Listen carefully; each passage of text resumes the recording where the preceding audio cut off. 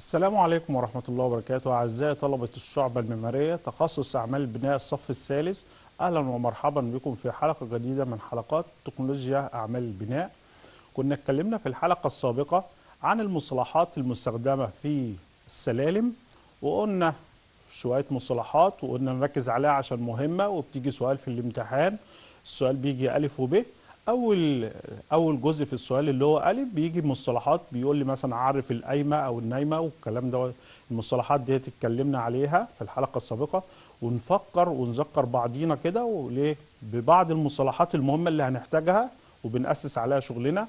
زي مثلا إيه إيه مصطلح الدرجة أو تعريف الدرجة أو عرف الدرجة إيه هي؟ قلت لك في الحلقة السابقة.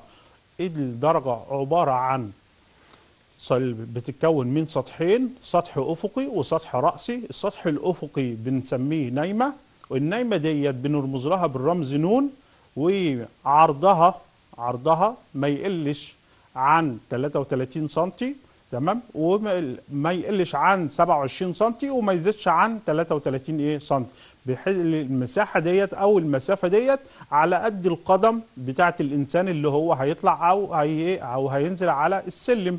يبقى دي اسمها إيه؟ النايمة. يبقى النايمة برضه في نفس الوقت لو قال لي عرف النايمة هنقول له السطح الأفقي الذي يطئ عليه الإنسان أثناء الصعود أو الإيه؟ يطئ يعني هيدوس عليها أو يستخدمها أثناء الصعود أو الإيه؟ أو الهبوط وهو نازل أو وهو طالع. تمام؟ وبيرمز لها بالرمز إيه؟ بالرمز نون. طيب. أما السطح الآخر وهو السطح الرأسي السطح الراسي على مين؟ على النايمة زي الايه أدي السطح الأفق أهو. هتلاقي إيه؟ سطح تاني في الوش كده أو في الوش كده أهوت من تحت تمام؟ بسميه الإيه؟ بسميه القايمة. هو السطح الرأسي المحصور. محصور ما بين إيه؟ ما بين نائمتين. أدي نايمة هي من فوق وأدي نايمة من تحت. يبقى نايمة من فوق ونايمة من تحت. السطح اللي محصور ما بينهم اسمه إيه؟ بنسميه قايمة. القايمه ديت يا شباب بنرمز ليها بالرمز إيه؟ بالرمز قاف. طب وارتفاعها يتراوح من نقط لنقط. لو قال لي ارتفاع القائمة يتراوح من نقط إلى نقط يتراوح من كام؟ ما يقلش عن 13 وما يزيدش عن 18 ما يقلش عن 13 وما يزيدش عن كام؟ عن 18 وبعض الكتب الأخرى والتخصصات الأخرى قلنا ممكن تلاقي ما يقلش عن 14 وما يزيدش عن كام؟ عن ال 18 ويفضل إن هو يكون ارتفاعها متوسط 14 أو 13 أو أقصى حاجة 15 لأن كل ما هي كل ما هيزيد ارتفاع القايمة ديت كل ما هيكون السلم عالي تمام؟ كل ما هي اللي هيستخدمه هيتعب ويحس إن هو إيه بي بينهج وهو طالع. لأن إحنا بن... لأن اتعمل دراسة بالنسبة علاقة واضحة ما بين خطوة البني آدم وهو ماشي في سطح أفقي تمام؟ وهو طالع على المستوى مائل. لا لقينا إن ضعف مجهوده ضعف مجهوده بيستخدمه وهو طالع. عشان كده أنت بتنهج وبت وبتحس بتعب ومشقة وأنت طالع في إيه السلم. على العكس وأنت ماشي أفقي مثلا في إيه في الشارع تمام؟ ده بالنسبة للايه للدرجة. طب يا أستاذ لسه أنت برضو إيه؟ قلت لي نص معلومة كده عن الدرجة. الدرجة برضو ليها طرفين طرف داخل جوه الحيطة وطرف هيثبت على الكوبيستا اللي هي هتحمينا عشان ما أقعش. أو الترابزين اللي هو الترابزين اللي هو على حرف الدرجة ده عشان ما أقعش. تمام؟ أصل إيه؟ وأنا طالع أو أو وأنا نازل. طيب الطرف اللي داخل جوه الحيطة هسميه إيه؟ يبقى الدرجة لي ليها سطحين أفق ورأسي تمام؟ نايمة وقايمة والدرجة برضو ليها طرفين طرف داخل الحيطة وبيسمى الديل. يبقى الطرف اللي أنا إيه هثبته جوه الحيطة تمام؟ بسميه الإيه؟ الديل. أما الطرف اللي هو من ناحية الترابزين بتاعي تمام؟ الطرف ده بتاع الدرجة اسمه إيه؟ أيوة أنا سامع كده حد بيرد عليا بيقول لي إيه؟ اسمه الراس. يبقى الدرجة ليها طرفين طرف من جهة الحائط ويسمى بالإيه؟ ويسمى بالديل. أما الطرف من جهة الترابزين تمام؟ بيسمى بالراس. دي ده المختصر بتاع تعريف الدرجة. طيب الدرجة في عندي أنواع من الدرجات؟ آه في عندي أنواع من الدرجات. قلنا كم درجة؟ كم نوع من الدرجات؟ قلنا ثلاث أنواع من الدرجات. إيه هما قلت لك درجة عادية أو معتدلة عادية خالص ما فيهاش أي حاجة عرضها ثابت بكامل طولها. يعني طول الدرجة مثلا متر هتلاقي المتر دي طول الدرجة ديت اللي هي النايمة بتاعتي بدأت من عند الراس 30 انتهت عند الديل بكام؟ ب 30 يبقى دي اسمها درجة عادية خالص أو درجة معتدلة. أما الدرجة الثانية أو النوع الثاني من الدرجة اسمه الدرجة المروحية أو يعرف مصطلحا بالدرجة المأذنية. لما يجي يقول لي مثلا عرف الدرجة المروحية أو الدرجة المأذنية هي هي الاتنين واحد. هي بتشبه ريشة المروحة بالظبط. عبارة عن إيه يا شباب؟ بيختلف. إحنا قلنا في الدرجة العادية دو- دي عرض النايمة بتاعها ثابت بكامل طولها. أما في المر- الدرجة المروحية قلت لك يختلف عرض النائمة. يقل عند الراس ويزيد عند الديل. يقل عند الراس ويزيد عند الإيه؟ ويزيد عند الديل. يعني إيه يا أستاذ؟ هتلاقي عرض النايمة بتاعها عرض النايمة اللي هو مثلا 30 تمام؟ عند الراس يعني عند الترابزين عند نقطة التثبيت. لأن هي نقطة التثبيت بتاعه الدرجة المروحية هتبقى من عند الكوبيستا. بتثبت في عمود في النص كدهوت بنسميه الفحل. بنسميه يا شباب بنسميه الفحل. الدرجة ديت هتخش في العمود ده هتتركب هنا تمام؟ وطالعه كدهوت زي الايه ريش المروحة كدهوت يا شباب تمام؟ طيب هتلاقي عرضها قليل من عند الايه من عند الراس وهتلاقي عريضة من عند الايه من عند الديل. وتلاقيها جاية مثلا بإيه؟ بدوران أو تلاقيها جاية مثلا بشطفه على حسب إيه؟ شكل الايه الحيطه طب النوع الثالث الدرجة المشطوفة. الدرجة الإيه؟ المشطوفة. إيه الدرجة؟ إيه هي الدرجة المشطوفة؟ الدرجة المحصورة اللي لازم تكون محصورة ما بين درجة عادية ودرجة مروحية. درجة الدرجة المسطورة تمام؟ بتكون محصورة بين درجة عادية ودرجة إيه؟ مروحية. يبقى, أنا قفلت القلبة بتاعتي مجموعة الدرج اللي أنا طالع ونازل عليها مثلا إيه؟ عددها خمسة أو سبعة أو عشرة تمام؟ آخر درجة في القلبة ديت في المستوى المائل المستوى المائل الواحد بنسميه قلبة زي ما اتكلمنا وشرحنا قبل كده. آخر درجة فيها تبقى درجة إيه؟ معتدلة.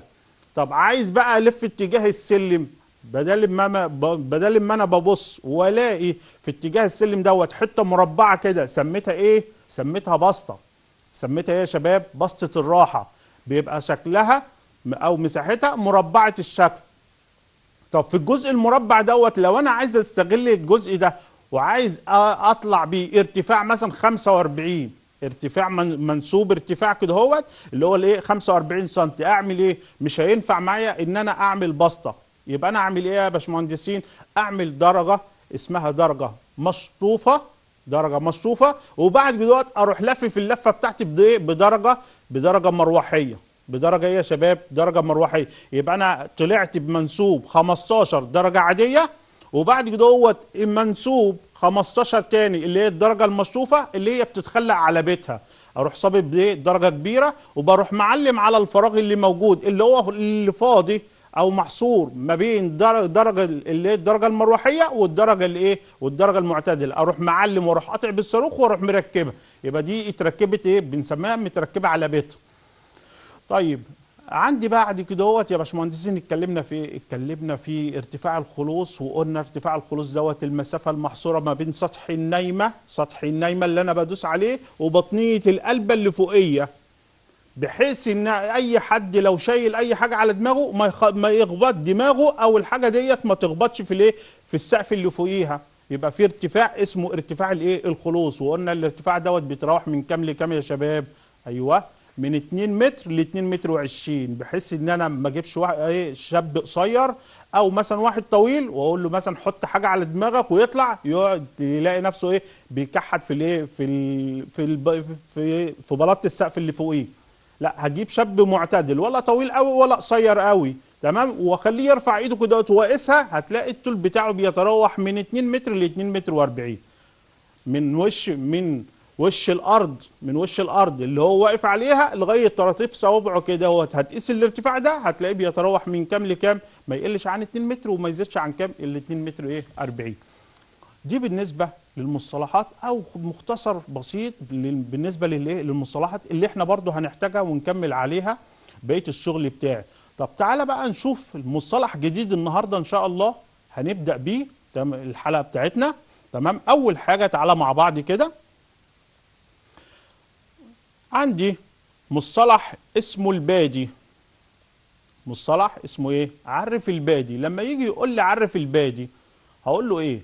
تعال نبسطها كده اهوت أنا جايب لك صورة صغننة كده بسيطة الأول وزي ما قلت لك أنا بجيب الصورة تمام؟ سلايدز كده اهوت يوضح لك الشكل اللي أنا عايز إيه عايز أشرحه وبعد جوات إيه نتكلم عنه. شايف أول درجة في السلم؟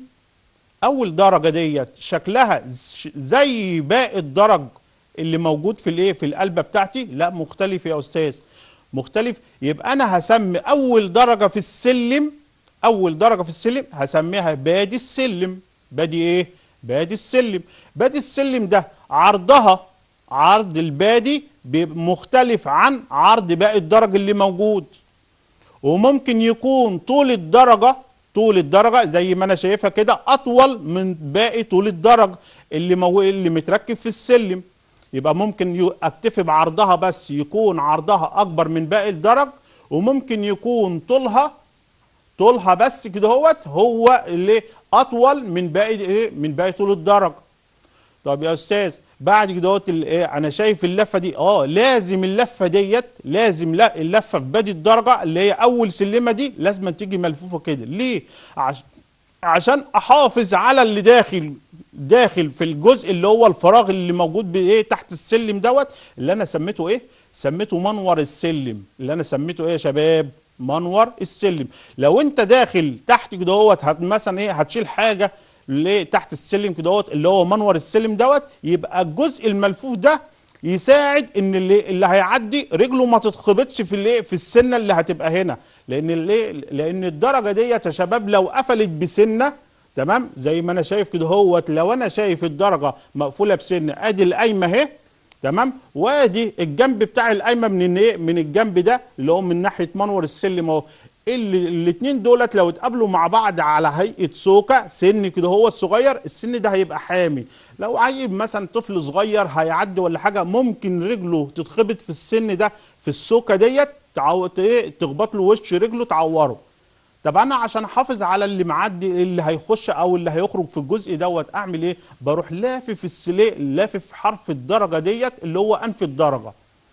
بروح لافف الدرجة وبلف السوكة اللي هو أنف الدرجة. طب واحد هيقول لي إيه أنف الدرجة ديت؟ فكرني يا أستاذ. أنف الدرجة ديت نقطة تقابل نقطة تقابل القايمة مع النايمة. نقطة تقابل يبقى أنف الدرجة. عارف أنف الدرجة يا أستاذ؟ هنقول إيه؟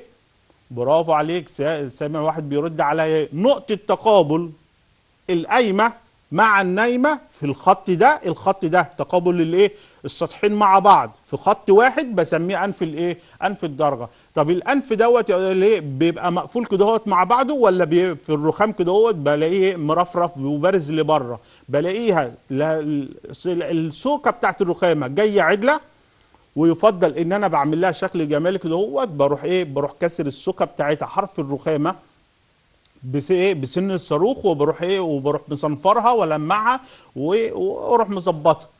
بعملها شطف بعملها شطف على المايل أو بعملها خرزانة حتة إيه؟ حتة ملف إيه؟ حتة سوكة ملفوفة زي اللي إحنا شايفينها كده في الايه في الدرجة اللي أنا جايبها لك ديت بيبقى حرفها مشوف ملفوف. يبقى دي اسمها إيه؟ الحرف ده بسميه أنف الدرجة. وإيه؟ ولفت لك الجزء ده عشان ما ي- ما يجرحش اللي داخل أو اللي خارج. يبقى ده اسمه بادي إيه يا أساتذة؟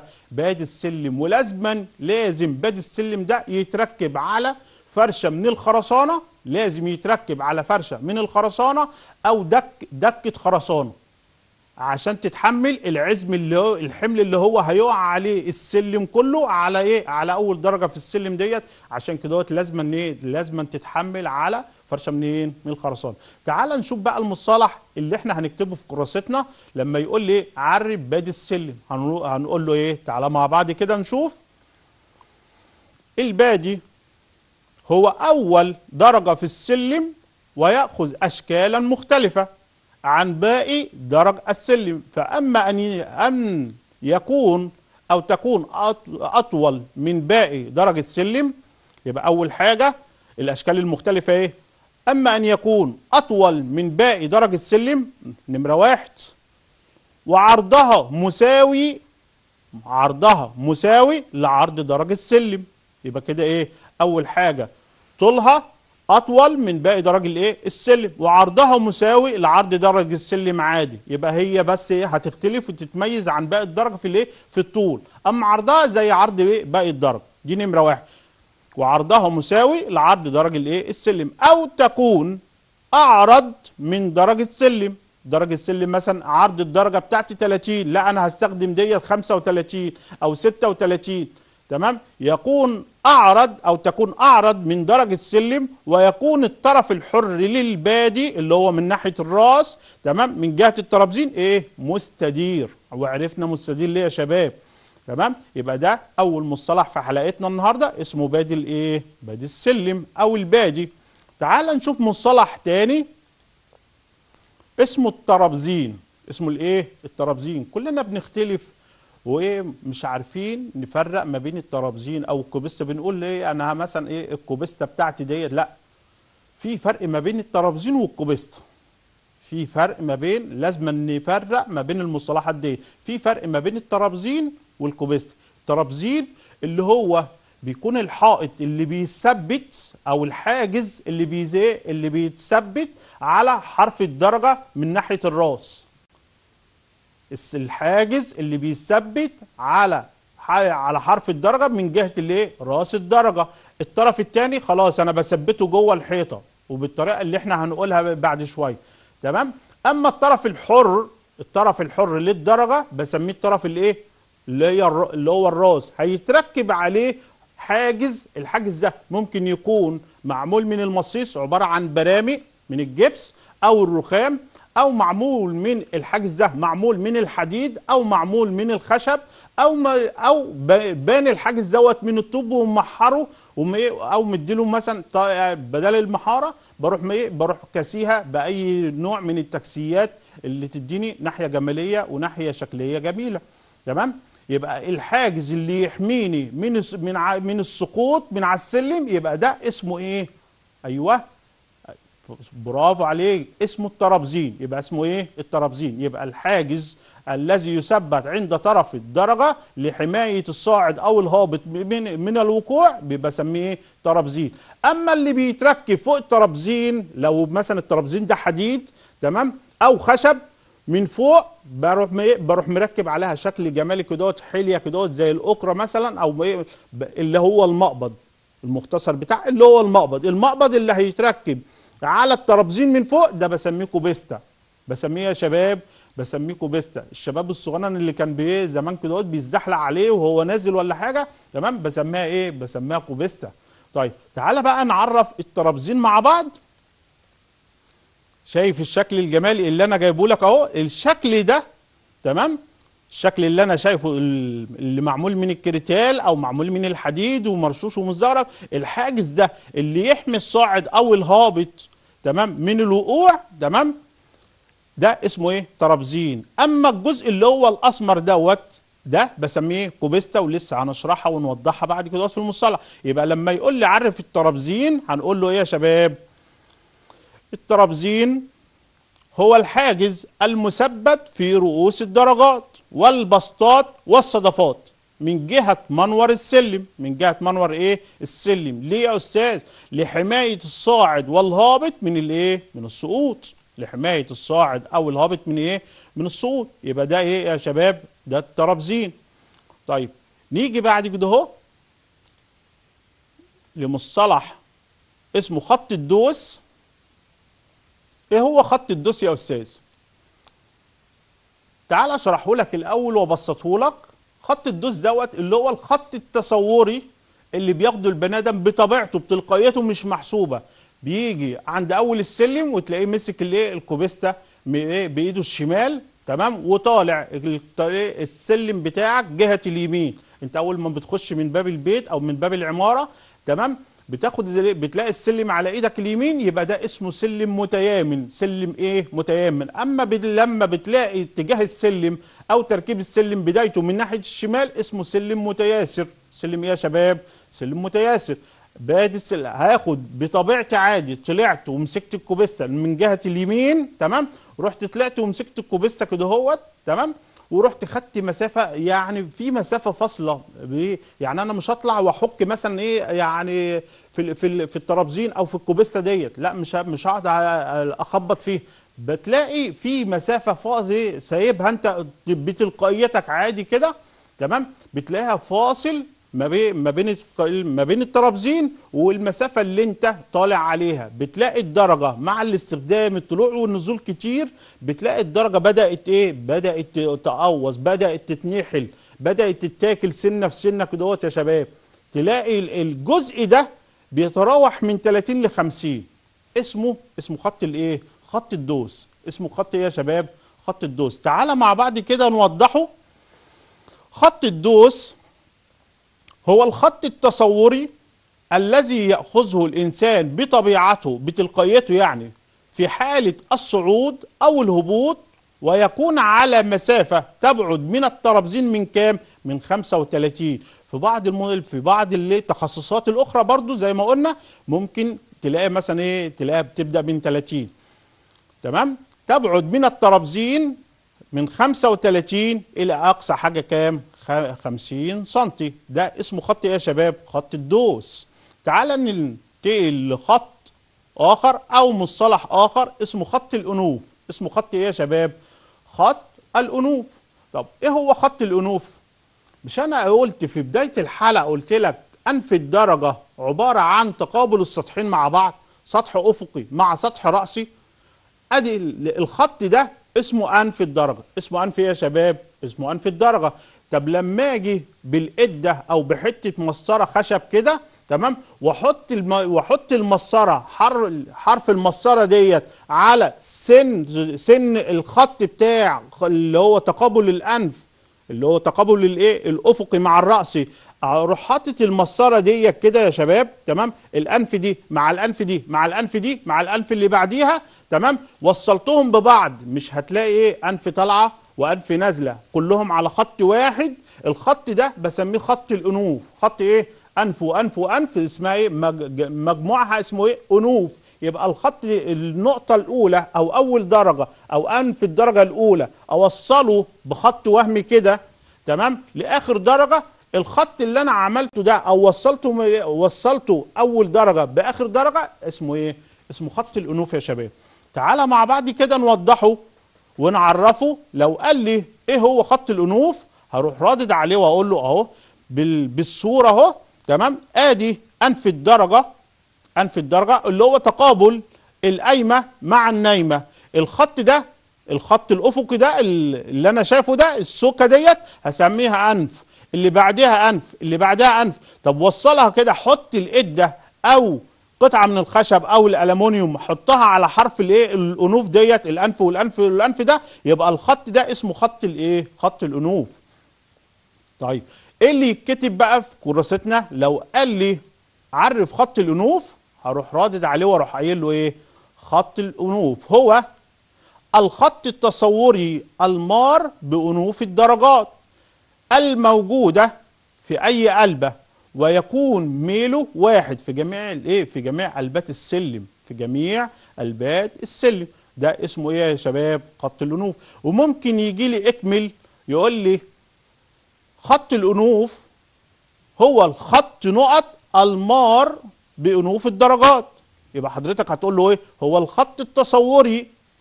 هو الخط الإيه؟ التصوري. المار بأنوف الدرجات. وممكن يجي لي يقول لي في الأول نقط هو الخط التصوري المار بأنوف الدرجات. طالما قال لي أنوف الدرجات يبقى ده اسمه خط الإيه؟ خط الأنوف. يبقى حضرتك هت إيه؟ هتحط هتكتب في المكان الفاضي تمام؟ أو مكان النقط خط الأنوف تمام؟ وتروح مكمل بقية الايه بقية القطعة بتاعتي اللي هو هو الخط التصوري المار بأنوف الدرجات. المار بأنوف إيه؟ بأنوف الدرجات. تعال ننتقل لمصطلح آخر اسمه الكوبيستا وشرحناها ووضحناها قبل كده لما جينا شرحنا الإيه؟ لما جينا شرحنا الترابزين. وادي الصورة بتاعتي اهي جبتها لك تاني أهو قلت لك أدي الترابزين أهو الجزء المرتفع ده تمام؟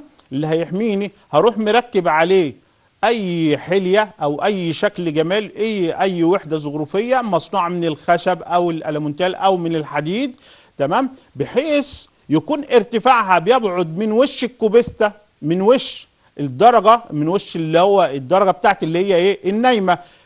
ارتفاع الكوبيستا ده بتلاقيه 90 سم بتلاقي ارت- ارتفاعها كام يا شباب؟ بتلاقي الارتفاع ده 90 سم يبقى ارتفاع الكوبيستا بتبعد من وش النائمة لأول الكوبيستا بتاعتي ارتفاعها كام؟ 90 سم تعال نقول مع بعض الكوبيستا عبارة عن تسمى في بعض الأحوال بالمقبض. تسمى في بعض الأحوال المقبض. وتوضع على نهاية الترابزين.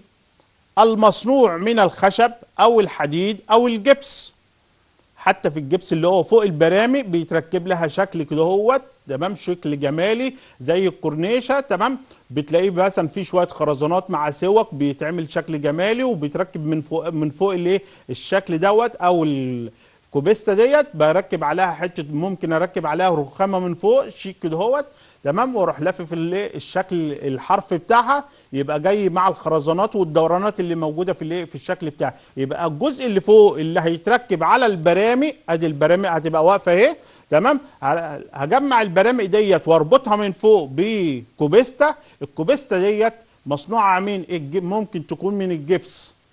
مصنوعة من إيه يا شباب؟ مصنوعة من الجبس. تمام؟ وممكن أقويها وأروح وأروح صابب عليها من فوق. تمام؟ أروح مركب عليها من فوق حتة قطعة إيه؟ قطعة رخام. طب تعالى بعد كده نكمل بقية المصطلح. مصنوعه من الخشب أو الحديد أو الجبس بنسميها إيه؟ البرامي. طيب على ارتفاع يتراوح من 90 لكام؟ من 90 لمتر لمساعدة الإنسان على الصعود أو الإيه؟ أو النزول. ده بالمصطلح بتاعي اسمه إيه؟ اسمه الكوبيستا. طب تعالى ننتقل لمصطلح آخر اسمه فقد السلم. اسمه فقد إيه يا شباب؟ فقد السلم. طيب فقد السلم دوت تعالى نبسطه كده اهو قبل ما نتكلم عليه. فقد السلم ده أنا قلت لك إن الدرجة بتثبت إن من جهة الحيطة بتثبت في قلب الحيطة تمام؟ وبتتبيت وبإيه؟ وبتحبش عليها في قلب الإيه؟ في قلب الحيطة. طيب الطرف الثاني الطرف الثاني لو هي بنسميها درجة كابولي الدرجة الكابولي يبقى نقطة التثبيت بتاعتها من طرف واحد نقطة التثبيت بتاعتها من إيه؟ من جهة واحدة اللي هي من جهة الحيط. أما الطرف الآخر بيسمى إيه؟ طرف كابولي. الطرف الكابولي ده بدل ما أنا أخليه حر كده هوت فاضي تمام؟ لا بروح جايب لوح من الخشب أو قطعة من الخشب وبروح إيه؟ مثبتها على الميل بتاعي اللي هو ميل الايه؟ ميل السلم بتاعي. طيب القطعة من الخشب اللي هي المستوى المائل دوت بسميه إيه؟ بسميه فخد السلم. اسمه إيه يا شباب؟ الفخد اللي بيتركب عليه الدرج.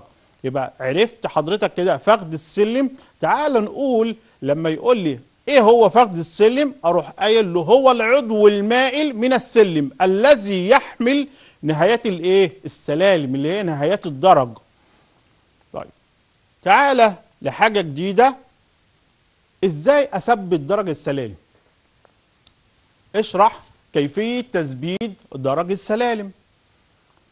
في عندي طريقتين من طرق تثبيت الايه درج السلالم أول أول طريقة إن أنا أول حاجة أروح. أروح معلم على الحيطة تمام ببني ببني المبنى بتاعي والدنيا تمام وطلعت بالمبنى بالحيطان بتاعتي وكل كل الشغل بتاعي مظبوط 100 إيه 100 100 أروح جاي بقى على الحيطة على الطبيعة على الواقع تمام؟ وبحدد مستوى الميل بتاع السلم بتاعي. تمام؟ بعد ما بحدده بروح معلم على الحيطة بالتباشير كده هوت الايه؟ مكان القايمة والنايمة بتاعتي. اللي هو إيه؟ مكان الديل بتاع الدرجة مش مكان الراس مكان الديل اللي هو هيخش ويبات جوه الحيطة. تمام؟ هروح معلم هروح واخد دي الصنبة كده هروح عامل الصنبة لراس دي ل- لمخ الدرجة. لمخ الايه؟ لمخ الدرجة. اللي هو ادي الدرجة اهي تمام؟ قلت لك ليها سطحين افقي ورأسي. اما الطرف اللي هيخش من هنا الطرف ده بسميه الايه؟ بسميه الديل هاجي من هنا هاجي على ال- الجزء ده بسميه مخ الدرجة. مخ الدرجة دوت يا شباب تمام؟ هروح اعمل له فرمه كده اهوت بقطعة مثلا خشب أو كرتونة مثلا وأروح معلمها على المي على الميل اللي هو على الحيطة بتاعتي وأروح معلم عليها. تمام؟ علمت الدرجة الأولى الثانية الثالثه والرابعه وهكذا على الميل اللي اللي ظاهر قصادي. طيب بعد جوات أروح جايب بقى أروح جايب مخلي العامل يجي يكسر اللي هي مخ الدرجة اللي هو في قلب الحيطة. يغوط لي الحيطة يكسر لي الحيطة ديت تمام؟ بعمق تقريبا الحيطة مثلا 25 هي هي هيكسر مثلا نص الحيط نص سمك الحيطة اللي هو مثلا 10 أو 15 سم تمام؟ وفي ناس بتروح مكسراها كل الحيطة تمام؟ وتلاقي الدرجه وانت ماشي مخ الدرجة باين من الشارع. بعد ما بيفرغ الفراغات مكان الحيطة الشغل بقى اللي هو الايه؟ النظيف تمام؟ ان هو يكسر لي نص الح... نص الايه؟ نص سمك الحيطة اللي هو مثلا 10 أو 15 سم 20 سم يكسر لي مكان كل راس درج على القد. ما يعملهاش بقى إيه؟ ما يعملهاش خريطة ما يعمليش الحيطة خريطة كده. هوت لا يا باشمهندس يكسرها لي على القد. يعني ممكن مثلا إيه إحنا بنشوف دلوقتي يروح معلم الإيه العلام بتاعه ويروح جاي يروح إيه جازز بالصاروخ يروح إيه يروح قاطع بالصاروخ يروح محدد القطع بتاعه بالصاروخ. وبعد كده هوت تمام طبعا بزيادة عن مخ الدرجة حوالي مثلا إيه يعني زيادة في طول وعرض وارتفاع مخ الدرجة وليكن مثلا 2 أو 3 سم تمام؟ طيب بعد كده هوت هخليه بعد ما يكسر الكلام دوت تمام؟ هاجي بقى أنا إيه أروح منظف مكان التراب بتاعي وبعد ما انضف مكان التراب هروح طبعا إيه بخليه يرش مية عشان التراب دوت ينزل ما يبقاش عازل ما بين طبقة المونة أو الجبس اللي هي اللي هيتحط تمام؟ ويتحبش بيه. بعد كده أبدأ بأول درجة اللي أنا سميتها إيه؟ سميتها بادي السلم يا شباب.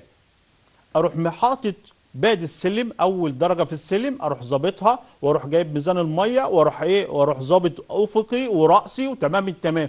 وأروح بخلي المساعد بتاعي يروح جايب لي مثلا إيه رباط جبس كده هوت كان زمان بيسموه الجبس البلاح عشان بيشك بسرعة ورخيص الثمن ويسهل. ويبقى سهل بعد جوات إن أنا أكسر وأروح إيه وأروح ناطر الجبس دوت. يبقى سهل في إيه في تطليعه. ماشي؟ أروح مركب أروح مسب مثبت الدرجة تمام؟ وأروح وازنها افقي وراسي مش فل 14 تمام التمام خلاص كده هوت. الدرجة بتاعتي مظبوطة. أروح إيه؟ أروح رشش شوية مية عشان لو في تراب يعمل عازل أروح رششها شوية مية تمام؟ وأروح محبش عليها بالجبس. يبقى أنا خلصت أول درجة. أروح جايب تاني درجة وأروح مركبها على أول درجة اللي هي البادي تمام؟ واظبطها أوزنها أو إيه؟ طبعا كل الجزء دوت أنا رشيته بقى مية مرة واحدة خلاص. وأروح إيه؟ أروح ظابطها ووزنها افقي ورأسي وأروح. محبش عليها بالجبس لغاية ما أخلص إيه؟ القلبة الأولى ثم القلبة الثانية ثم القلبة الثالثة لغاية ما تلاقي نفسك إيه؟ خلصت المستوى بتاعي أو الدور بتاعي اللي متكون من قلب من قلبتين أو ثلاثة تمام كده؟ تمام كده. يبقى دي اسمها طريقة من طرق تثبيت الإيه؟ طرق طريقة واحدة من طرق تثبيت الدرجة. تعال نقراها مع بعض كده. لو قال لي اشرح كيفية تثبيت درج السلالم. هتقول له إيه؟ أول حاجة تثبيت الدرجات المنفصلة بإحدى الإيه؟ الطريقتين. أول حاجة الطريقة الأولى يبنى البناء بأكمله. يعني أبني الإيه؟ المنشأ بتاعي بالكامل الجميع الحوائط والدنيا تمام تمام؟ وأجي بقى على محل السلم. يبنى البناء بأكمله بصرف النظر عن موضع السلم ومن واقع الرسومات. موضع السلم اللي هو المكان. إحنا قلنا إيه هو محل السلم يا أستاذ؟ أول مصطلح إحنا قلناه في الحلقة السابقة وقلنا محل السلم هو الفراغ اللي أنا سبته في المسقط الأفقي تمام؟ الأوضة اللي أنا سبتها في المسقط الأفقي عشان أركب فيها السلم. يبقى ده اسمه محل الإيه؟ محل السلم أو بير السلم. محل السلم أو إيه؟ لما يجي يقول لي محل السلم عرف محل السلم أو بئر السلم؟ هنقول له المساحة الافق المساحة المتروكة في المسقط الأفقي. تمام؟ لإنشاء السلم.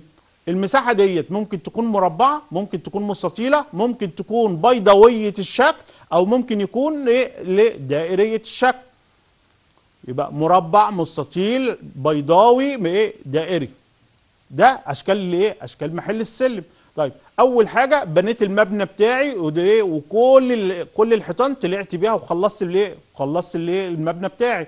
أجي بعد جوات الخطوة اللي بعد كده رقم اتنين أو الخطوة رقم اتنين يحدد مقدار ميل السلم المطلوب ويعلم على الحائط موضع الإيه؟ الدرجات. موضع الدرجات تلو الايه تلو الأخرى.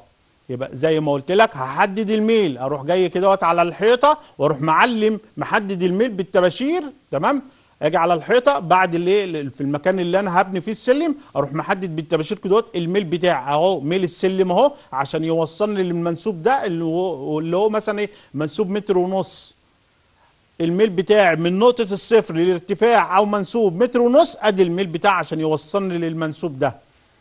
أروح معلم الإيه؟ الميل بتاعي. بعد كده الخطوة اللي بعد كده يحدد مقدار ميل السلم المطلوب ويعلم على الحائط موضع دي الدرجات تلو الإيه تلو الأخرى طب الخطوة اللي بعد كده ثم يؤخذ في تكسير جزء من البناء بعمق كم؟ بعمق 15 بعمق كم يا شباب؟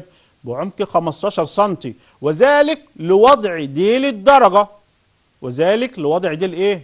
لوضع ديل الدرجة اثبت ديل الدرجة اللي هو داخل في قلب الإيه؟ الحيط وقلت لك الايه؟ ديل الدرجة ده لو طولها 30 هزود هزود في الح... في التكسير بتاعي 2 سم عشان يبقى في في فا... في فاصل وفي الايه؟ في فضا تمام في فراغ يديني حرية الحركة أبدأ أحرك الدرجة يمين شمال لقدام لفوق لتحت تمام ويبقى في طبق إيه مكان لطبقة المونة اللي أنا هحبش عليها بالجبس طب يا أستاذ إحنا إحنا هنحبش بالجبس وبعد كده هوت السلم دوت مع المية وفي الايه لما يجي يتمسح مثلا ولا حاجة الجبس يشرب المية تلاقي السلم دوت إيه وقع بينا كده هوت؟ لا ما أنت بعد ما بتوصل للمنسوب بتاعي بيبدأ بقى الراجل في الايه في التشطيب وفي مرحلة التشطيب بتاعتي بيكسر الجبس دوت وما بيسيبش مكانه ما بيسيبش أثر. للجبس اللي هو إيه اللي اتركب دوت أو اتحبس بيه أو اتعمل يربطه الجبس في الايه عند ديل الدرجة. هيكسر وينظف تمام التمام ويجيب نفس المونة اللي هي رمل وأسمنت وأسمنت زيادة ويروح محبش ويروح مقفل على وش الدرجة. تمام؟ ويروح مساحة كدهوت ويروح جايب زي سكينه المعجون ويروح إيه ما يبقاش فيها ولا عالي ولا واطي ولا الكلام ده. وممكن يجرح فيها لو هتقبل طبقة جديدة عشان إيه؟ عشان ما تبقاش طبقه المنى ديت تبقى ناعمة تمام؟ وتلاقي إن إيه لما تيجي تشطب تلاقي مثلا إيه الجزء دوت مش قابل طبقة المنى. ليه؟ لأن هي الطبقة بتاعتي ناعمة. لا لازم يجرحها يخشنها يبقى الحرف بتاع أو المنى بتاعتي خشنة. عشان لما أجي أركب عليها ايا كان مثلا رخام وهيتركب وينزل سقيه ولا حاجة يبقى الجزء ده خشن يبقى تخش وتكلبش مع الجزء اللي هو الخشن دوت يا شباب. طيب تعالى مع بعض كده يا شباب ونكمل الخطوة الثالثه ثم يؤخذ في تكسير تبدأ في تكسير جزء من المباني بعمق كام؟ 15 سم عشان إيه ال 15 سم ديت تخص مين؟ عشان أثبت فيها دي للايه؟ الدرجة. طب الخطوة اللي بعد كده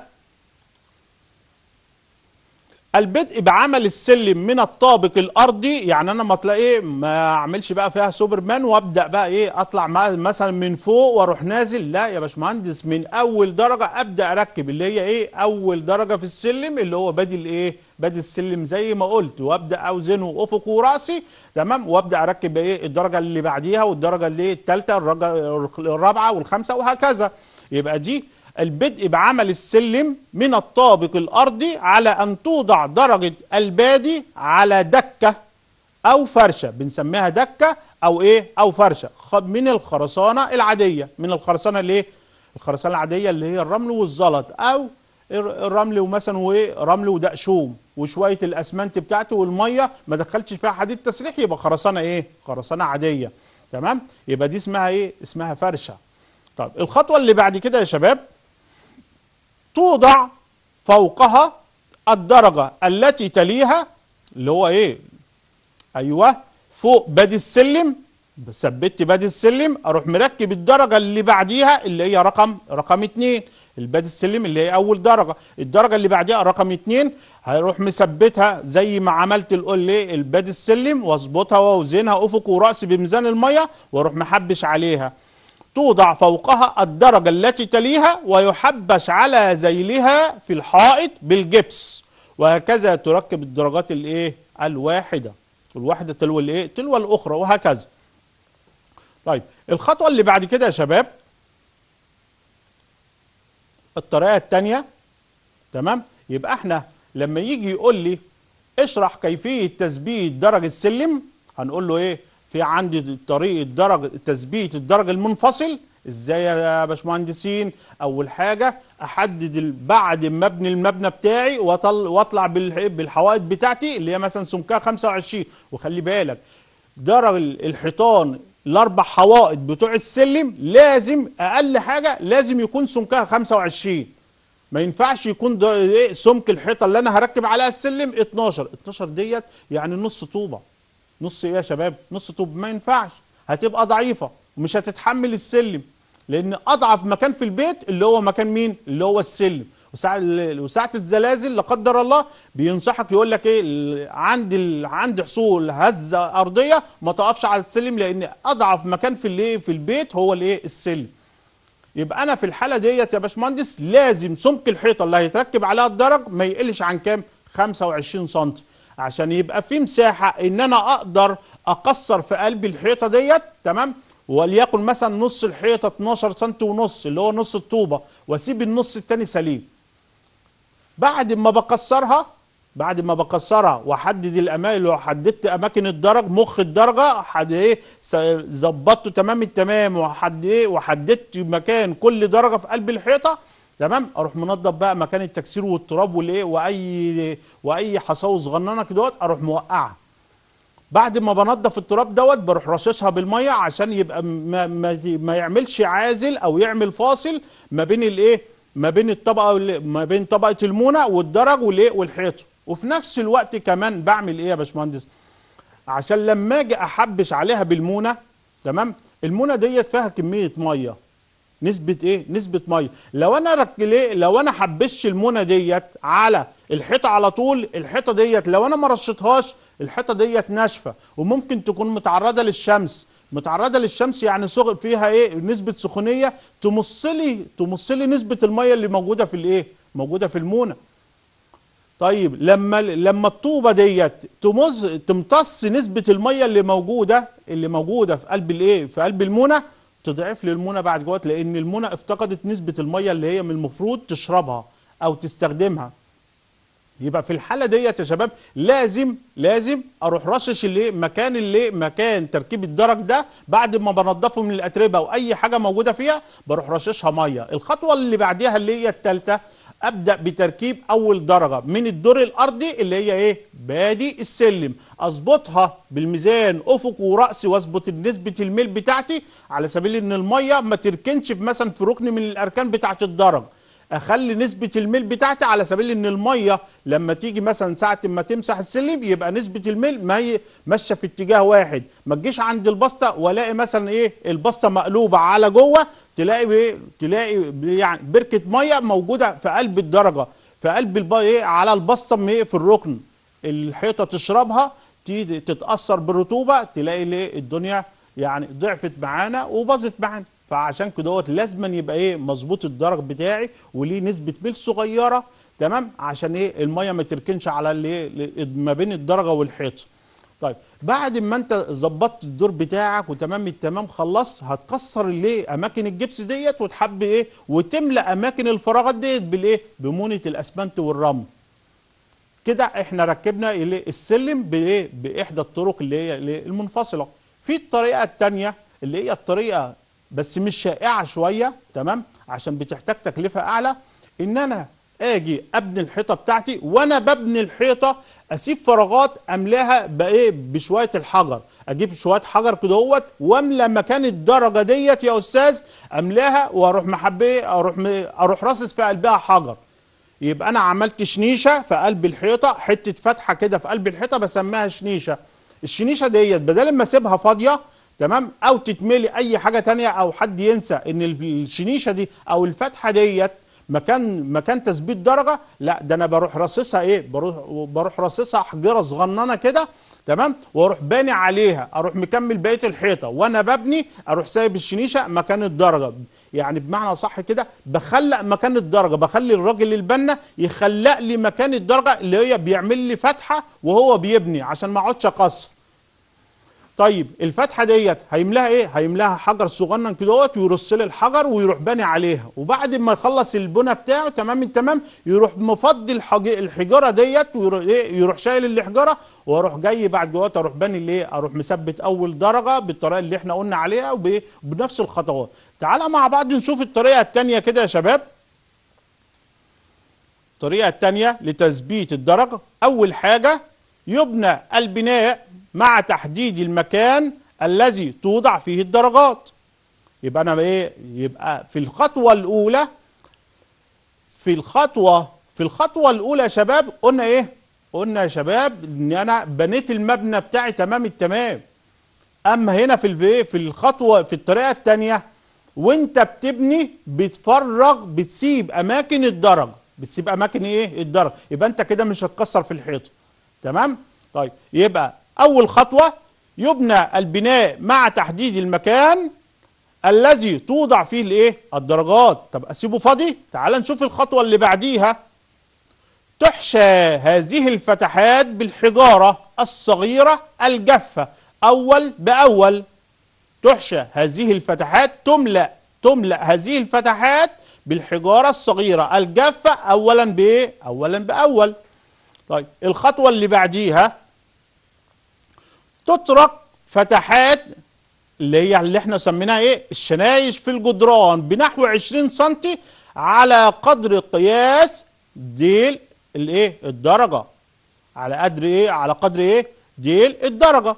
طيب بعد كده يا أستاذ هنعمل إيه؟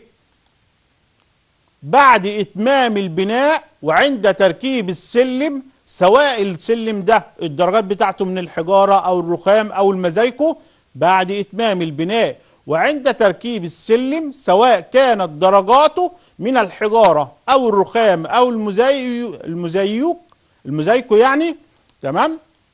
هنعمل إيه؟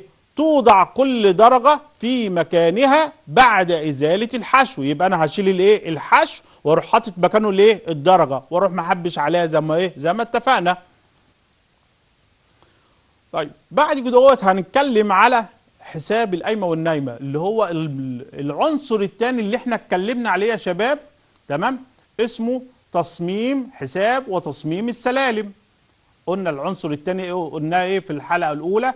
العنصر الثاني حساب وتصميم الايه السلالم. حساب وتصميم السلالم يعني عايز أحسب ارتفاع القايمة وارتفاع الايه وارتفاع النايمة. وقلت لك إن في علاقة مترابطة ما بين خطوة الإنسان وهو في مستوى مائل وما بين ما بين خطوة الإنسان في الإيه في المستوى الأفقي. وقلنا في المستوى المائل ضعف الحركه الخطوة بتاعته وضعف مجهوده في الخطوة وهو ماشي إيه أفقي. طيب تعال نقول مع بعض كده قلنا إيه خلي بالك المصطلحات اللي إحنا هنستخدمها القايمة هنرمز لها بالرمز إيه قاف. والنايمة هنرمز لها بالرمز نون. طيب وارتفاعات القايمة كام كام؟ ارتفاعات القايمة من 13 ل 18 وعرض النايمة من كام لكام؟ من 27 أو من 28 لتل... أقصى حاجة ليها كام؟ 33 طب تعال نبص مع بعض كده بسرعة. توجد إحنا قلناها الخطوة دي اللي هي العلاقة تمام؟ الخطوة النقطة اللي, اللي إحنا عايزين نقولها ونأكد عليها في عندي قاعدتين هنشتغل عليها في تصميم الايه في حساب وتصميم الدرجه في عندي قاعدة إنجليزية وفي عندي قاعدة فرنسية. قلنا النايمة نون والقايمة إيه؟ قاف. طيب القاعدة الإنجليزية بتقول إيه يا شباب؟ أو القاعدة اللي نبدأ بالقاعدة الفرنسية؟ قال لي 2 قاف زائد نون بيساوي بتتراوح من إيه؟ من 60 ل 66 يبقى القانون بتاعي 2 قاف زائد نون بيساوي إيه؟ بيساوي 60 إلى 66 سم في ال... لما باجي اشتغل في المسألة ما بقولش من 60 ل ل 66 لا بقول 2 ق زائد ن بيساوي 64 باخد المتوسط بتاعها. ولا تقول لي 60 ولا 61 ولا 2 إيه ولا 62 تمام؟ باخد المتوسط اللي يتراوح من ال 60 لكام؟ لل 66 يبقى القانون في القاعدة الفرنسية 2 ق زائد ن بيساوي 4 إيه 64 يبقى القانون بتاعه أهو بالشكل ده. 2 ق زائد ن بيساوي 4 وإيه؟ 64 سم ده القاعدة لما يقول لي استخدم القاعدة الإيه؟ الفرنسية. أما القاعدة الإنجليزية 2 ق ده القاعدة دي شغالة بالبوصة يا شباب. بالبوصة 2 ق زائد ن بيساوي 24 بوصة. بس 2 ق زائد ن بتساوي 24 بوصة. طيب يا أستاذ ال- البوصة ديت عاملة قد إيه؟ البوصة الواحدة بتساوي 2 سم ونص. 2 سم ونص. طيب ال 2 سم ونص ديت يعني ال 24 بوصة ديت تعمل كام؟ تعمل 61 سم يبقى القانون بتاعي بيقول القاعدة الإنجليزية 2 ق زائد ن بيساوي 61 سم هن- هنخلي بالنا من القاعدتين دولت عشان إن شاء الله بعد كده هوت هنشتغل حساب إيه؟ حساب سلالم ومسائل واشكالها المختلفه وبكده نكون وصلنا لنهاية الحلقة ويا رب تكونوا استفدتوا. وإن شاء الله نلتقي على خير بأمر الله في حلقة قادمة. والسلام عليكم ورحمة الله وبركاته.